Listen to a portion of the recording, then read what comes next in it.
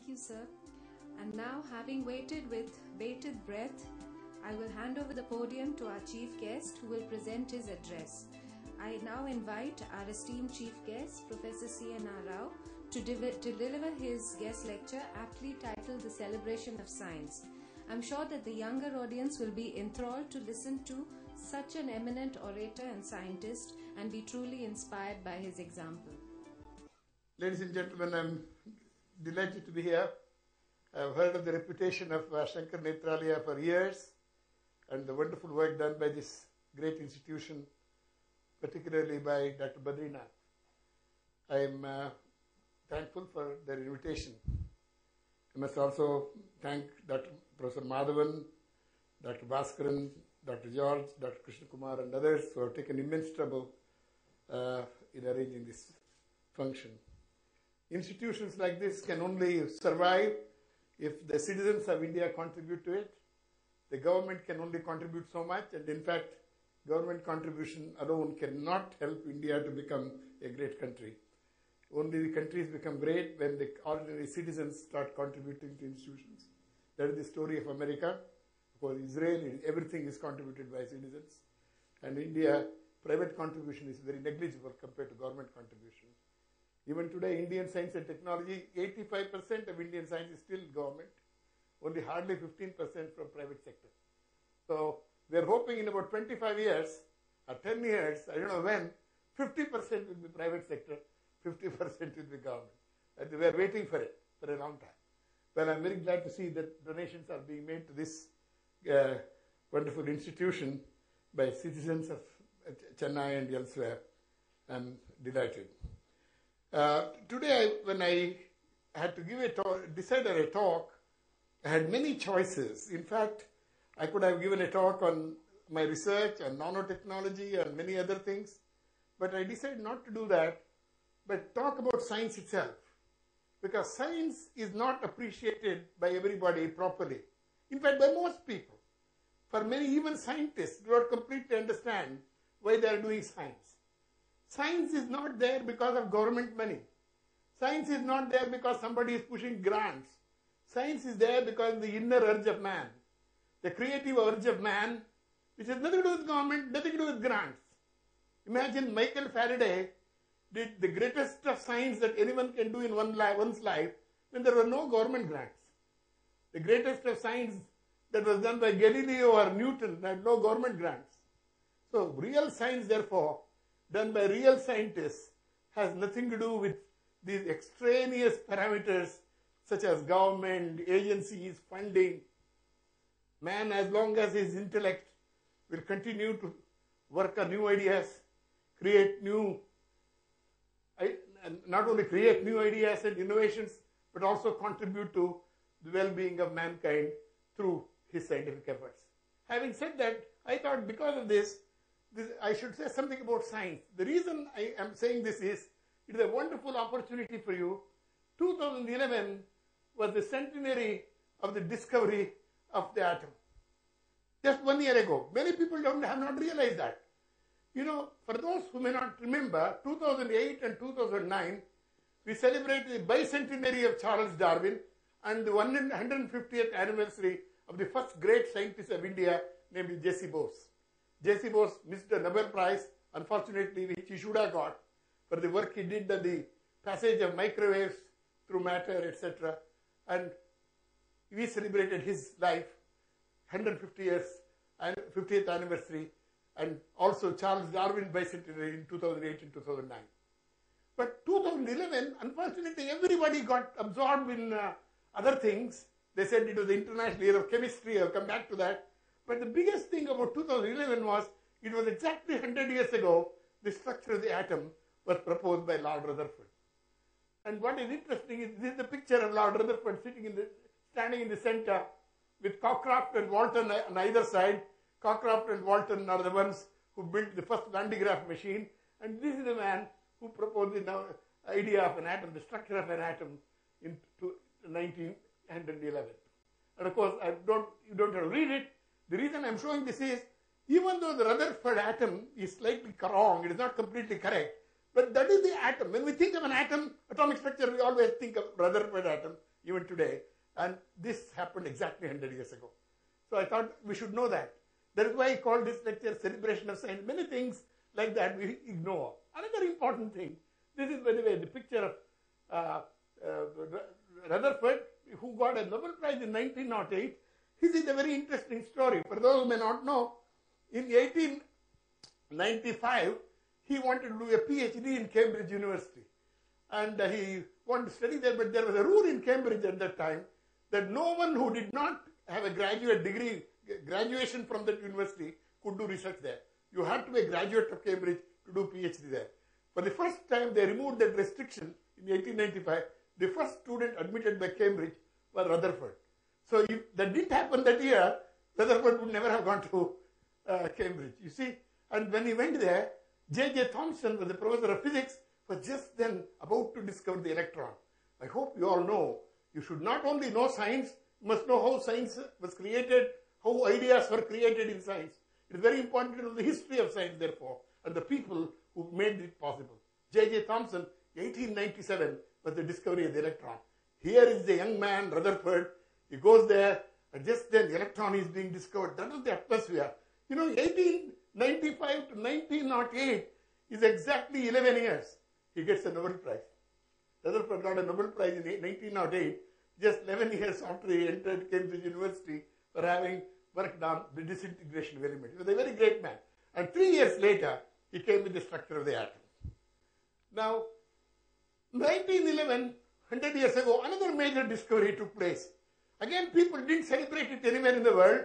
I want to tell you, Kamerlingh Onnes in 2011 discovered superconductivity. Superconductivity as a phenomenon was not known till 1911. It was Kamerlingh Onnes in Amsterdam who discovered that. And this is the picture of Kamerlingh Onnes who discovered superconductivity. And I'm showing this picture where Kamerlingh Onnes is standing, uh, is with uh, his guru van der Waals. I hope you all know van der Waals, uh, van der Waals interaction. And this is picture. And he was the one, Kamerlingh Onnes was the first one who liquefied helium and also discovered superconductivity. And this is, this is the first plot of a material becoming superconducting. Mercury became superconducting at 4.3 Kelvin, and this was the first plot of superconducting transition made by him in 1911, and we celebrated the 100th anniversary just last year. And 1911, a very major thing happened, which I know most of you do not know. If you do not know, as a scientist, it's a disgrace. If you are not a scientist, I will excuse you. The history of science, eh, one of the most important happenings in the history of science is what is known as the first Solvay conference in 1911. All the great minds of the world at that time in science were brought together in Belgium to discuss science, 1911, in Belgium. And this is the photograph of that occasion. I hope you can see here in the center, somewhere here, you can see Madame Curie sitting there, and uh, behind her is Rutherford is standing there. In the corner to the right, you can see Einstein standing there. I hope you can see Einstein, young Einstein. You see, Einstein is standing there because Einstein was still not important at that time. You see, Einstein was not yet known. In, rather known, I will take care of myself. Uh, uh, I, 19, uh, what was I about to say? Einstein was not known in 1911, so you see, he had to stand there. So, you know, great minds that decided what kind of physical world we are dealing with, the so-called quantum mechanical world, came about in 1911 after the famous Solvay conference.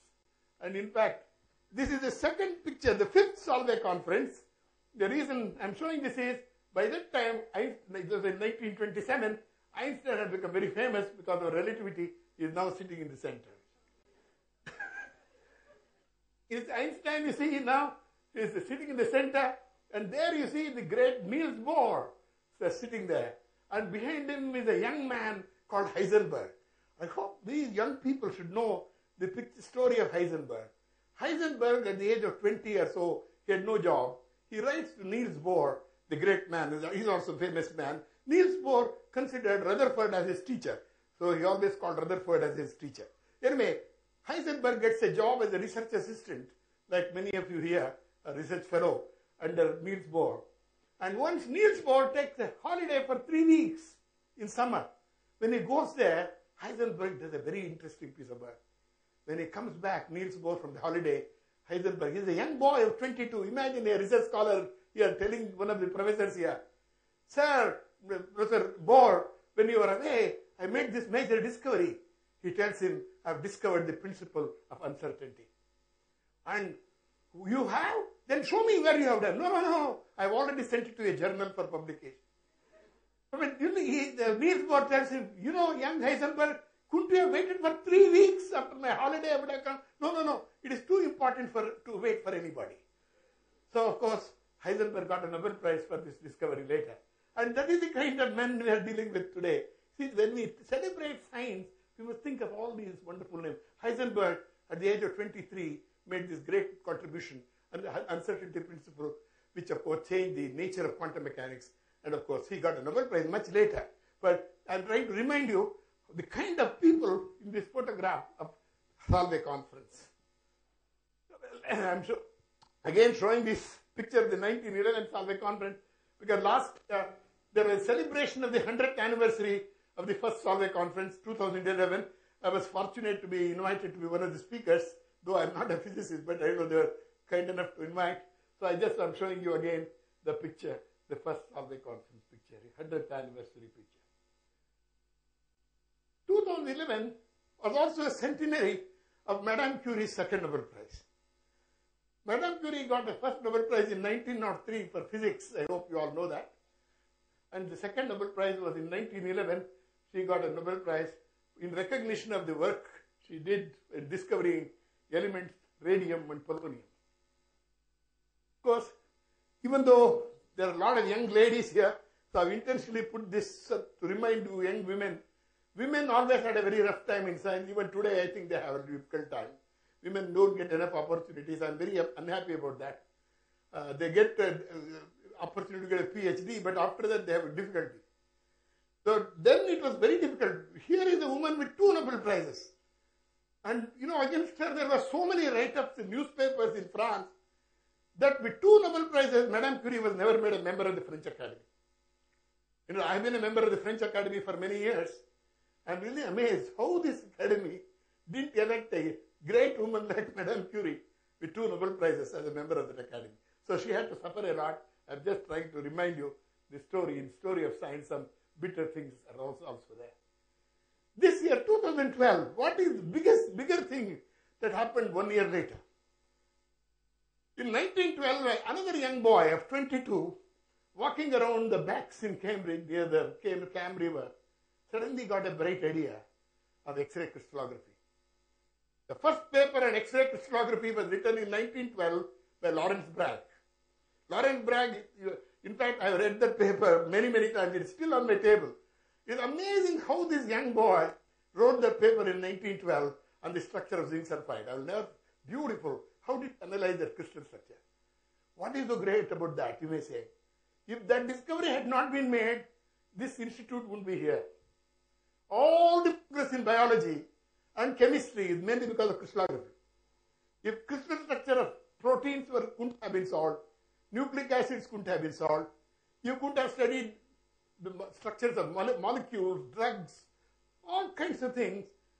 Science would have been way behind, several centuries behind. It is that first paper that is, the, that is therefore very seminal, very important to remember. And he got a Nobel Prize for it a few years later. A few years later, he and his father shared Nobel Prize for X-ray diffraction. Actually, his father didn't contribute much. It was mainly this young boy at that time. But anyway, they shared a Nobel Prize. Well, like many of them, even today, make a mistake. There is a very famous called Bragg equation. You all know that. N lambda, n lambda equal to 2d sine theta. Every, that is due to this boy, Lawrence Bragg, young boy, 22 years. So I want to know the young people here. So you don't have to be old man like me to get a Nobel Prize. Of course, not that I'm going to get it either. So I'm telling you, young people have got brilliant ideas to get a Nobel Prize. 22 years. All of them are 22, 23. Anyway, coming back. 2011 was the International Year of Chemistry. I hope you all know that. And I don't know whether you celebrated here. I'm trying to remind you. 100 years of the second Nobel Prize of Madame Curie was celebrated as International Year of Chemistry. And just to remind you what happened, 1911, you know, we didn't know X-rays had just been discovered, radioactivity had just been discovered, noble gases had just been discovered. Things, chemical bond. The idea of a chemical bond was not known in 1911. The idea of a chemical bond came only in 1916 with the first paper on chemical bond. So today, 2011, of course, we have made much progress after that. What is important to know is, even though we say 1911 not much was known, in the early 20th century and late 19th century, people like Mendeleev and many others had uh, contributed. Faraday had contributed to science even in the 19th century. I want you to remember that. So let me remind you how chemistry itself started. I hope you all know the father of chemistry is considered to be Lavoisier, who died in the year 1794. And he is considered to be father of chemistry because he is the one who enunciated the idea of a conservation of mass, very important principle in science. He is the one who said that there was something called a finite composition for every compound. He was the one who said air is oxygen and nitrogen. He is considered to be the father of chemistry. And of course, he died in 1794. Actually, he didn't die actually, he was guillotined. There was French Revolution. His head, you know, was put under guillotine machine, was chopped off because he was very close to the king and queen of France when the French Revolution was there. One of the heads that went off was this head, very brilliant head in chemistry, cut off in 1794. I hope you all know history of India. 1794, what happened? You know that in India? Just three years later, Tipu Sultan was fighting the British near Mysore. And he almost got of the British. If only he had kicked out the British in the third war of Mysore, British wouldn't have been in India. Anyway, that was around the same time. 1794, 1710. French Revolution, Tipu Sultan, they're all roughly of the same period. Okay. I don't want to talk much about it, just to remind you, exactly 1803, 200 years ago, Dalton gave the idea of an atom, but then came in the 18th century the famous Michael Faraday. Everybody who is in science and everybody who is a human being must know the story of Faraday. If any of you don't know, I'll keep quiet. I'm amazed that you don't know if you are a scientist. Because there's no scientist who can ever beat his record. I think he's the greatest scientist this Mother Earth has produced. We have not, I will not see a better example again, in science. You know, he was only three years of schooling. He was an assistant to a bookbinder, don't forget. One day he was, had, book, he had bound a book on electricity, something to do with Volta's, Volta's book, Volta's lectures. Then somebody enters the bookbinder's shop and the bookbinder tells this man, Sir, he is binding the book on electricity. This young boy, Faraday, is very much interested in science. And this man who visited the bookbinder says, Oh, is that so? You know what? There, a, there are lectures by Sir Humphry Davy on chemistry, three lectures, for which I have tickets. Maybe this boy wants to go, I'll give him the tickets. So this man who came to the bookbinder shop gave the tickets to Faraday to attend the lecture of Humphry Davy. Humphry Davy then was a very famous scientist, uh, giving wonderful lectures to all kinds of people, kings and queens, everybody used to attend his lectures. So um, Michael Faraday goes and attends his lecture. That, that changed Michael Faraday. He was a young boy, only three years of schooling. He writes down everything that Mike, Humphry Davy said in his lecture. And then bind, when he comes back, he binds that as a book, goes back to Humphry Davy. Sir, uh, your three lectures are bound as a book, three lectures by Davy, and please take my uh, this bound book of your lectures. Oh, Davy said, wonderful. You know, he just a young boy has come. And then before going, he says, do you think you can give me a job?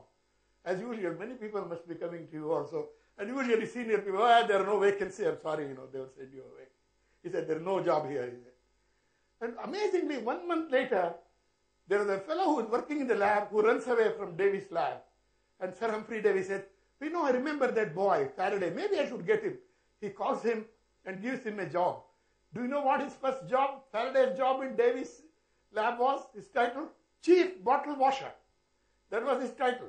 He was made the chief bottle washer in Davy's lab and he was washing bottles, cleaning, slowly trying to help Davy in his experiments, then learning to do his own experiments. So in the year 1816, he wrote his first paper by himself, was first paper of his. He wrote his own paper. Then he started doing his own experiments. He was a very, very clever experimentalist. Became better and better.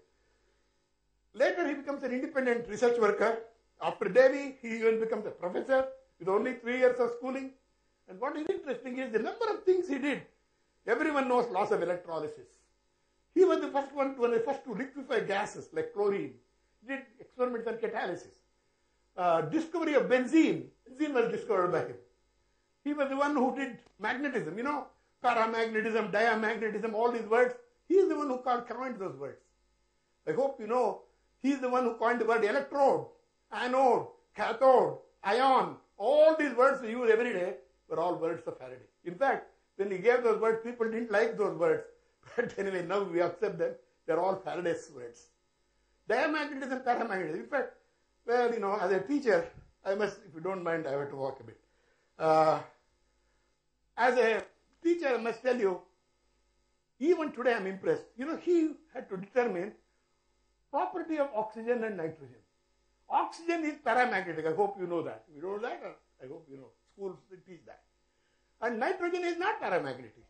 He is the one who did that. How do you think he did it? Even today it amazes me his experiment. What he does is he makes soap bubbles containing oxygen and soap bubbles containing nitrogen. He passes these bubbles through a magnet and the bubbles containing oxygen stuck to the magnet. Bubbles too containing nitrogen didn't stick to the magnet. So immediately he concluded oxygen is paramagnetic. Do that experiment today. Not easy. How did he do that experiment? You know, the kind of experiments.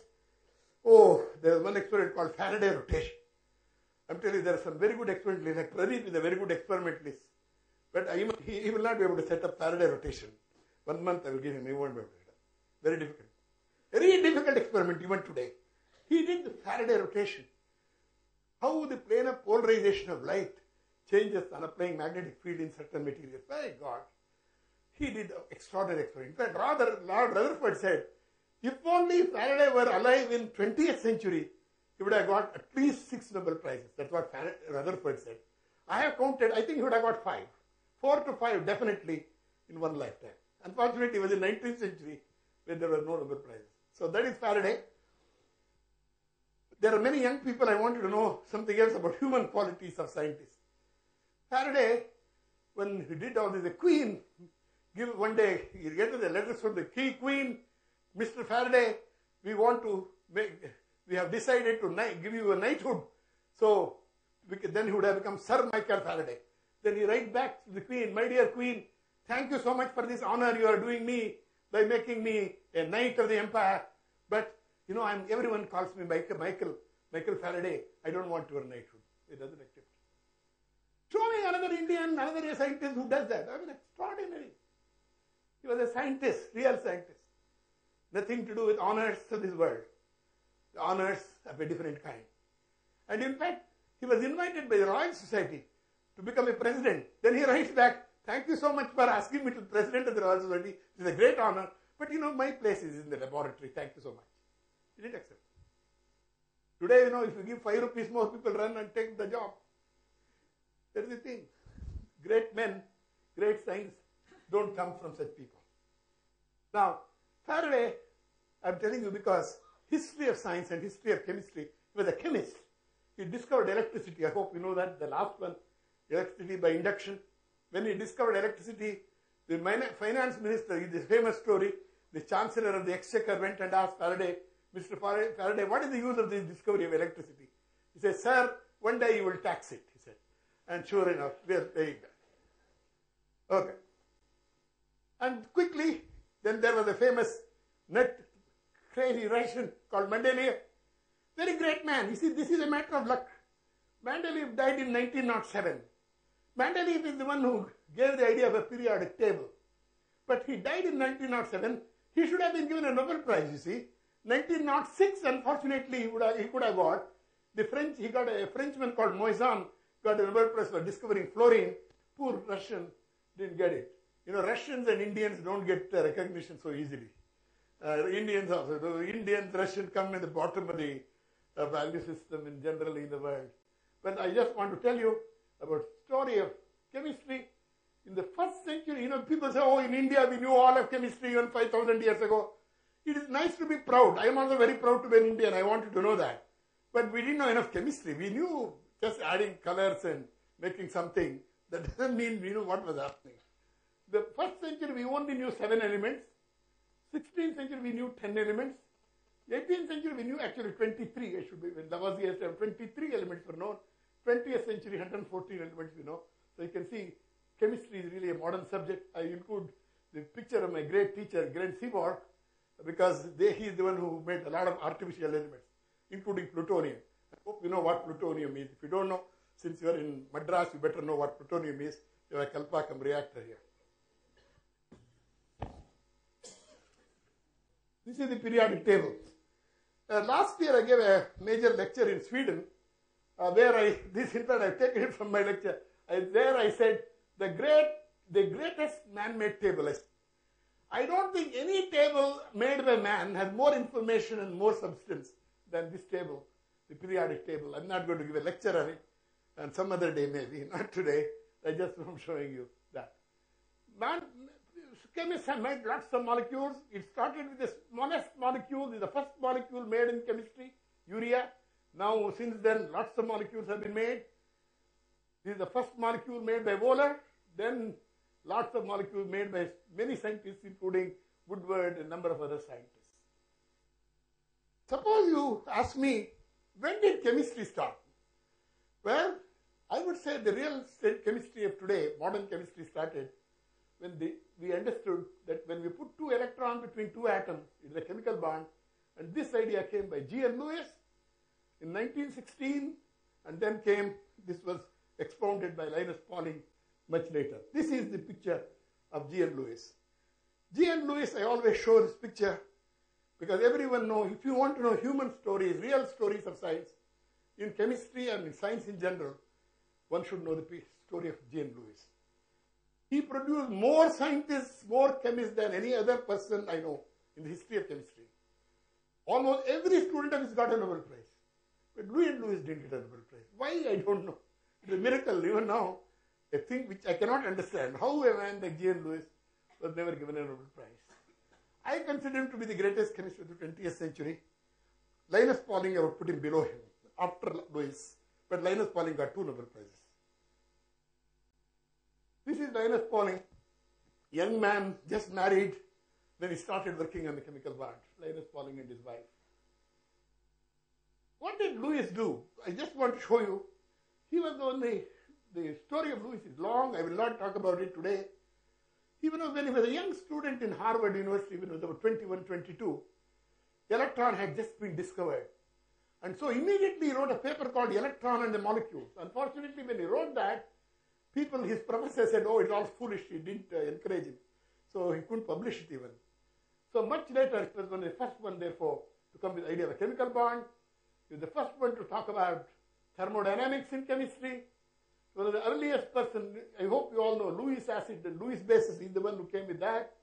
In fact, when he was nominated with the Nobel Prize about 20, 15 times for the idea of chemical bond, every time the Nobel Committee said, well, chemical bond, we don't know whether it's going to be important or not in chemistry. But today, people will laugh at it. Much later, in 1954, Linus Pauling got Nobel Prize for Linus chemical bond. But he never got it. He died in 1946. But anyway, when he made Lewis acids, the idea of Lewis acid and Lewis bases, in fact, there's the PhD thesis of Glenn Seaborg under him. And people said, Lewis acid, we don't know, the Nobel Prize Committee said, whether it will ever be accepted as an important thing in chemistry. He, he never got, therefore, anything that uh, uh, uh, recognition of the kind he deserved. Heavy water is very interesting. The story of, you know, deuterium, I hope you all know that. Deuterium was discovered by a student of Lewis called Harold Urey. And uh, as soon as it was discovered, Lewis said, you know, what is the use of an atom of deuterium? I want to make a compound. So heavy water was made in Berkeley using the electrochemical cells there, the, the water in the left over there. And he made heavy water and studied properties, all kinds of things, published many papers, but eventually when the Nobel Prize was given, it was only given for discovery of deuterium, but not heavy water. So it's one of those very interesting stories of chemistry of a great chemist being denied a Nobel Prize for some reason. Okay. Chemistry after the chemical bond and so on became very dominated by structure, molecules, I will not be talking about that since you are dealing in this laboratory or this uh, institution with a lot of proteins and uh, biomedical chemi- uh, biomedical research and practice of uh, various kinds in medicine, you have to know molecules. Uh, today, I'm afraid uh, without molecules, uh, your research in bi- biology or uh, uh, medicine will not worth anything. It will be all molecule based. So uh, you need mass spectrometer because again molecules are there. So molecules have to be understood. And this is the first structure of a protein. When all these molecules in 1951, I was doing my PhD. I'm sorry, I was doing my MSc, and I suddenly found protein structure I discovered. In fact, Linus Pauling, this I'm showing you because Linus Pauling, when he discovered it, he didn't really understand the what the importance was. In fact, I wrote to Linus Pauling from India, you know, I want to work with you. Do it. I didn't know what protein was, but nothing was known. I, then he wrote something else to me saying that you work with a student of mine, and uh, uh, anyway, I, I worked with his student later. But Linus Pauling was the first one to solve, a chemist who solved the structure of a alpha helix. I believe that started the birth of molecular biology. And then, of course, I hope you know the double helix came. This is a single helix. Double helix came in the DNA, just 52, 53. I hope you all know, being in Chennai, 1954, 53, the triple helix came from Madras, G. N. Ramachandran in college. Single helix, double helix, triple helix, 1951 to 54. Three years, three helices. But G. N. Ramachandran got nothing. Uh, this was a very sad story. Since you're all from Chennai, let me tell you. When he did this double helix, triple helix of collagen in 1954, I was, I, I was just in America at that time. I had just gone to do my PhD. I was amazed. It was a very nice piece of work when it was in Nature. Within two, three, four years, he should have got international recognition for that. At least he should have become a fellow of the Royal Society or something. But somehow it didn't happen. And he he became an FRS in the year 1976. So, you know, 54 to 76, how many years you see? 22 years after triple helix. It is the most insulting thing that they did. Anyone, all the, because international, even nationally, we in India didn't honor him enough at that time. I really feel he was one of those who was uh, not sufficiently honored when it was necessary. Of course, then later I don't want to talk about his life. That is not the important thing. I feel he was one of those very, very fantastic scientists, but not sufficiently honored either in India or in the world at the right time. And uh, unfortunately, it's so. And, and this is the story of the helices I thought I would mention. And this is how Linus Pauling looked when he discovered the alpha helix. In fact, uh, a year later, he came to India. He was supposed to come to India, but it actually didn't come. Okay. Chemistry then became a very important thing, full of structure, synthesis, dynamics. And it is only later, in 1970s and 80s, chemistry and molecular biology started combining a lot. So you people are interested in it. If you don't know enough chemistry, you will not do good biology, please. Uh, you will do poor biology. If you want to be a good biologist, you must know good chemistry. There is no doubt in my mind. And you see, all the major discoveries always are done by them who know a lot of chemistry or a lot of physics. And similarly, in my area, advanced materials, which is my area of research, chemistry and advanced materials became uh, close to each other. Some around 30 years ago. And of course, since then, in my area, superconductivity, high temperature superconductivity, nanoforms of carbon, you know, fullerenes, all kinds of nanotubes, a whole bunch of things happened after that. So post 70. Now you see, this is the first time high temperature superconductivity was discovered. Uh, one of the important things was to make a liquid nitrogen superconductor. First time uh, uh, it was discovered was at 35 Kelvin. Until now, till 1986 December, the highest superconducting transition was 26, 23 Kelvin. 35 Kelvin was discovered in Switzerland, and everybody wanted to do liquid nitrogen superconductor, which is around above 77 Kelvin. So in that competition, we in Bangalore did this. This is a Bangalore curve, 90K liquid nitrogen superconductor then in Bangalore, March 1987. This was a very important thing. For those in history of physical science, if they don't know, no other subject has attracted as many pages of literature, the journal space, as this one. I think thousands and thousands of papers were written on this subject at that time. And then came fullerenes, discovered in the lab in 1985, made in the lab in 1990. Then came nanotubes of various kinds. discovered properly in 1991, and so on. So today, we work beyond the molecule. You see, chemistry, biology were always on molecules. Today, we don't worry about molecule as much, but the beyond the molecule, assembly of molecules, the various other types of structures of, created by molecules. We worry in things like living systems, therapies, optimization in biological systems. That is chemistry and life, that is the combination. This laboratory should be interested in these problems. Therapies, living systems, optimization in biological systems. In chemistry itself, we are interested in new synthesis, but more on self-assembly, complex chemistry, chemistry of the earth, chemistry of the sea, chemistry of the atmosphere. That is the future. Young people want to know what is it, what research do you do?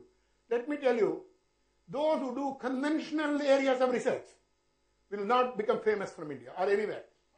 Those who are becoming famous, even from India, those few who become very well known, have become because they do the different type of research. You may do wonderful research published in the best journal, nobody will read it. Nobody will read in the best journal, best paper, because it's standard material. But by re- reading the title, I know what people have done. I don't read the paper anymore. Roughly, you know what they have done. So you have to have a new idea, even if you don't do a good job, it's a completely new idea, new direction. That is the thing about India. Please, young fellows, don't go repeating yourself, do hundredth carbon of yourself. You are yourself a carbon of something else. You make a hundredth carbon, you will be so pale, nobody will read it. That is the problem of India. Indian, good research in India is very repetitive. Nothing very very original. That is why very few Indians have become famous. That's why J. Ramsden was different. He looked for something not done before. So here, I hope Sankara Nethralaya, Badrinath, you must see that completely new ideas are followed. Not repeat somebody else's. Something, start something different. And that's how you think. You have to think like that from the beginning. If you go on reading everybody's paper, you will not come with an idea. So don't read too much. No, no, no. If you read every paper, you will never come with an idea. You will come with more papers which nobody reads. That's why Indians are not highly cited. How many highly cited Indians are there? Citation above 50. Five, entire country has not more than four or five. Why? This is the point. So this is meant for young people. Create something original, new, your own idea. Create your own oasis. And these are all in new areas. Now come to what is it one should do for India? What is it one should do for mankind? What is it one should do? I want to give one example. The most burning problem of mankind today is energy. There's no doubt about that. You may work on health problems, everything is important, but health comes before, without energy, nothing will be there. You need energy. I hope you know the scale of energy you require. Somebody wrote a, made, made a mistake in our Prime Minister's speech one day. I was shocked actually. And he read it out, of course. He read it, he didn't know about the difference. You know, he's not, he's an economist. India requires, according to speech, mistake, you see, uh, Varadara, uh, 800,000 megawatts of power India requires, you wrote. It actually meant 300. 3 has become 8. Even 300,000 megawatt of power, how will you get it? Where, where? Absolutely no way. No, there no. So, our atomic energy, we will say, yeah, atomic energy will give what, 10,000, 10, 20,000. Wind power, another 10,000, 20,000. Solar power, 10,000, 20,000. What you need is 300,000. Where is that going to be? You are all young people, I'm telling you. I'm not afraid because I'm too old, I won't, before the problem comes, I'll be gone. I'm approaching 80. See, next year I'm starting my 80th year. As an 80 year old man, I don't worry about future. But you guys and girls here, you will face this world where there will be no energy. So people say, what research should I do? Don't ask me, God damn it, do it, do everything. Research and energy. So what is it? Hydrogen, wonderful. It is a wonderful source of energy. Come, I will talk about it for two minutes in a minute, in a short while. Solar, lot of work on solar. Not a good area to get into in India. Too much of international competition. Actually now, people are spreading the solar cells everywhere. India, I went telling the Prime Minister, I think he has just now directed the government that we should plan to 20 to 30,000 megawatts in about for 10 years for solar photovoltaic. I, right now it is not even 2000 megawatts. Very, very bad. You will say, yeah, good. But how will you run your cars? How will you run your uh, aeroplane? So there is no pollution, hydrogen. Hydrogen, how will you do? One is artificial photosynthesis. I will not be talking about it. I first thought of talking about it.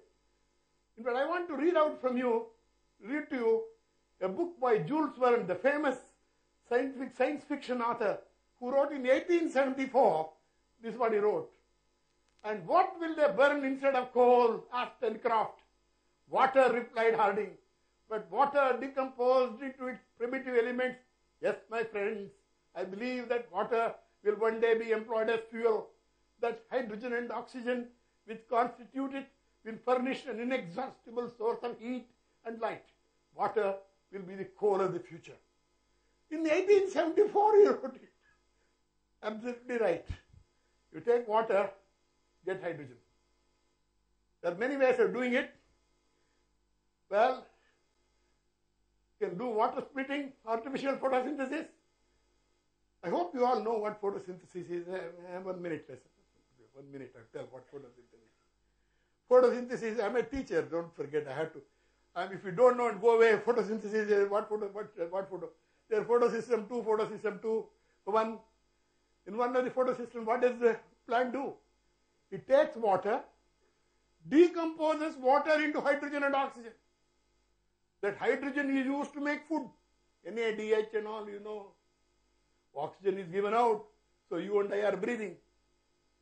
Oxygen is given out to breathe, hydrogen to make food. Suppose I don't use hydrogen to make food, I can use it for energy. If I can do photosynthesis in the lab, artificial photosynthesis. So it's a very wonderful way of splitting water, get hydrogen.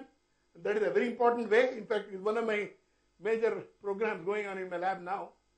Uh, one or two others in India, I'm told, are starting. But all over the world, this area of research is getting the biggest support. For those who may not know, I want uh, Badrinath and you to know the biggest research grant ever given in mankind, in the history of mankind, $120 million, one grant was given by President Obama six months ago for hydrogen. One grant. $120 million. Two of my friends have got it, that I know who they are. So one of them is by semiconductor nanostructures. This is another, I'm not going to talk about it. Another thermal water, what am I interested in? Thermal water. If you heat water high enough, it decomposes, but not too high a temperature. So actually, I've been telling one of these girls who's working with me to bring down the water decomposition temperature. I can easily do experiment to bring it down below 1000 degrees. Unfortunately, two weeks ago, I found a PNAS, National Academy of Science, USA. There's a paper by a friend of mine in Caltech who's done that actually. But I want to do, I have many ideas on that. If we can bring down the decomposition of water to reasonable temperature, then you know, thermal splitting is also not bad. Except that, then I can go from heating to solar energy. Solar thermal splitting of water is not a bad idea. So these are all problems on hydrogen. Now I want to close my lecture by a few personal reflections.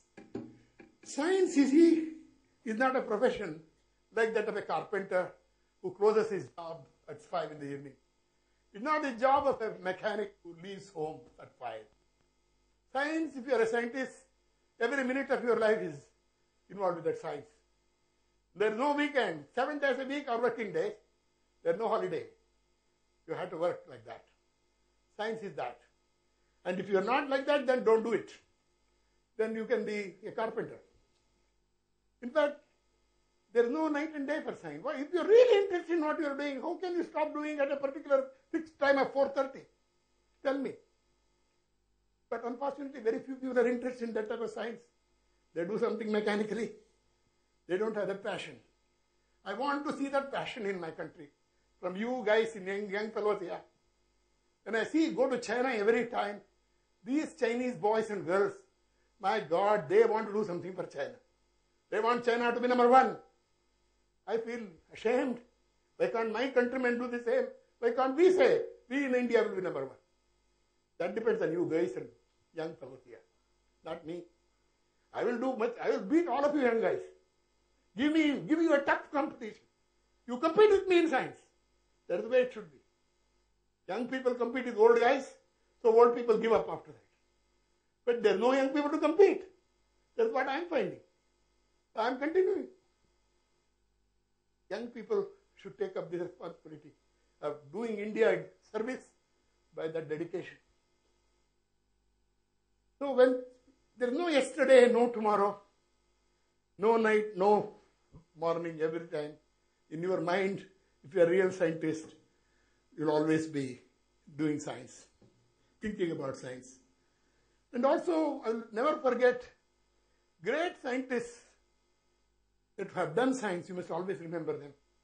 We are riding over the shoulders of great men, don't forget. And I always remember we should, we, we are what we are because we are, the great science was done by others. Should never forget it. I'm giving you one story of Faraday, the great man. In 1867 he died. He is the first one who gave the idea of a field, so-called particle physics, you know. All this Higgs boson and all that you heard about.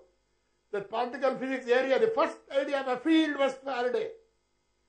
Except that he could not put it in mathematical terms. And then Maxwell put it in mathematical terms. You must see Maxwell's book where he talks of Faraday, the great teacher, how he owes everything to Faraday. The idea of a field, the idea of a particle theory that came out, the idea of unification of forces that Faraday had already thought of. He was the one who had already said magnetism and electricity, the unification of all these kinds of different, the so-called lines of force that he talked about Faraday. And then Einstein, you see, he actually did the first unification. And Einstein's office, who, who do you, what do you think you had? He had. He had three photographs, Einstein's office. One was Newton, second was Faraday, third was Maxwell. That is why I put these three. Einstein had these three photos, two photos in his room. And that is how science is. So if you want to be a good scientist, don't follow a problem, some stupid problem by heating, cooling, and do something. Somebody else can do all that. If I think of an idea, remember how the idea comes from, where it comes from. How can you do much better than that? Don't think about how to do the same thing somebody else did in your own way, uh, in, in the same way. Something different. So I think the, here it's important to know the continuity of science, history of science, at the same time have your own original mark. Continuity, originality. How to put it together? That is the challenge, you see. And then, you know, science does many things. If you want to be immortal, if you have all the money in the world, you will not become immortal. There's a famous story in Upanishads. You know that Yajnavalkya, his wife, Maitreyi, asked him, My dear husband, if I become the richest woman on earth, will I become immortal? He said, No. With all the money in the world, immortality will never be reached through money. He says, the famous story in Upanishads. Money won't give you. That is why our young people in India are going for money so much. None of them will be immortal. But there is a chance you may become immortal through science. Immortality of its own kind. So please remember. Well, I will not show that. And say a few words about science. Science we do because according to me, it is the most selfless way of living. Being a good teacher is a selfless way of living. In fact, there is no better profession than science to be selfless. In fact, I want to, I've written down a few poems from Rabindranath Tagore because I hope you all know next year we are celebrating the 100th anniversary of his Nobel Prize. The first Nobel Prize of India 100 years ago, Rabindranath Tagore got it. Of course, the second one came in 1930 for C.V. Raman. And after two, we have not had any Nobel Prize. India has had only two Nobel Prizes, Tagore and Raman. And Tagore, Nobel Prize, we are centenary next year. And so I thought I would say something from his uh, Gitanjali about selfishness. He says, I came out alone on my way to my tryst, but who is this that follows me in the silent dark? I move aside to avoid his presence, but I escape him not. He makes the dust rise from the earth with his swagger. He adds his loud voice to every word that I utter. He is my own little self, my Lord. He knows no shame, but I am ashamed to come to thy door in his company. He's talking about selfishness. How can I get rid of selfishness? Well, this is one way. unless we get rid of selfishness, I'm afraid science won't thrive. In India, probably, maybe, problem is that we can't be selfless completely, but even then, science is one way of doing many of these things, according to me. Well, science to me is a way of life, is a wonderful way of living. Particularly, we scientists can give everything we have to young people. That's why it's very important to work with young people. I'm glad you have one young fellow here, my student here who PhD with me. In my life, whoever works with me, as long as he is with me, my principle is to give everything I have to him. Everything. No holds barred. In terms of science, I can't give my money because I don't have that much. But everything I have in knowledge, everything through science. So, it's very important for senior scientists to give everything to the young people. And young people, therefore, should have the due respect for the senior in the same way for what they give. And this selflessness is, therefore, very, very important to me. It is a way of life, way of uh, philosophy of life. Let me close by saying, time has come. We have to give everything we can to this country. We, if somebody in IIT, I give a talk in some IISER or IIT, they ask me, what is one line message to the young people of today? Each one of you become famous in what you are doing, that's all. You are a carpenter, best carpenter. Electrician, best electrician. You are doing laundry, best laundry. You are a teacher, best teacher. You are a scientist, the best scientist. So if every scientist does his best to become the best in his profession, you may not succeed, but try. Then you see India will become great. India's greatness, our greatness, our community's greatness, our institution's greatness, like Sankara Nethralaya, depends on individuals trying to become great. If individuals become great, institutions become great, country becomes great. We should remember that.